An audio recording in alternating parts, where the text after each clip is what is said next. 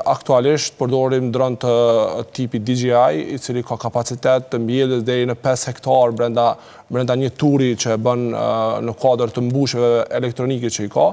Pastaj në forma të tjera, teknologjia është shfrytëzuar edhe në analizim të sipërfaqeve konkrete të cilat i plotësojnë kushtet, qofshin ato topografike, klimatike dhe elementeve të tjera, të cilat në njëfarë forme janë edhe elemente determinuese për sukses të mbirjes së farave të mbjellura në këtë formë.